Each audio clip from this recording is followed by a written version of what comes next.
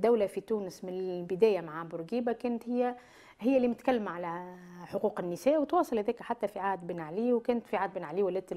ال vitrine démocratique للبلاد التونسية يسأل على الحريات يقول حرية حقوق النساء وحرية النساء. donc حركة نسائية مستقلة تجي تقول راهو ما فماش مساواة حقيقية.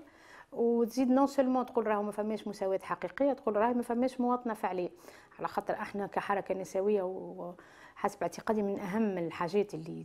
توجدت معناتها واللي من الخصائص نتاعها بالإضافة لاستقلاليتها على ال على ال على السلطة هي إني حركة نسوية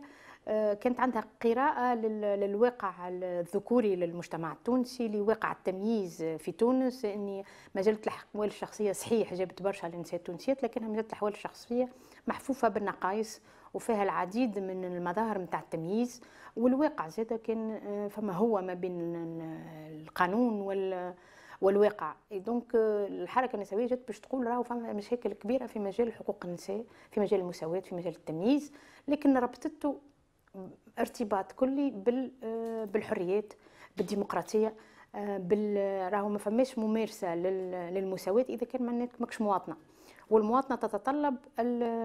الديمقراطية تتطلب الحريات تتطلب باقي الحقوق أيضا تتطلب الحقوق الاقتصادية والاجتماعية. هذا كله هو كل مترابط وحنا ديما نقولوها راهو النسوية هي معناتها c'est phénomène transversal et donc يشق كل شيء. كيف نكون نسويه راني عندي قراءة كاملة للواقع التمييزي ما بين النساء والرجال لكن عندي قراءة معناتها واقع الحريات في البلاد كيفية تنظيم الحياة السياسية في البلاد كيفية توزيع الثروات في الإطار الخاصي والعام. donc هذا الكل متداخل و je pense إني على الأقل داخل الجمعيه التونسيه النساء الديمقراطيه لكن في باقي الأطر النسوية سواء داخل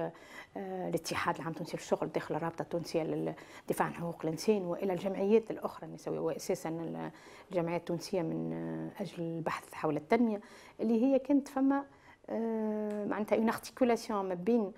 المطالب الخصوصية والمطالب معناتها العامة حول الحريات وحول الديمقراطية وحول الحقوق الاقتصادية والاجتماعية.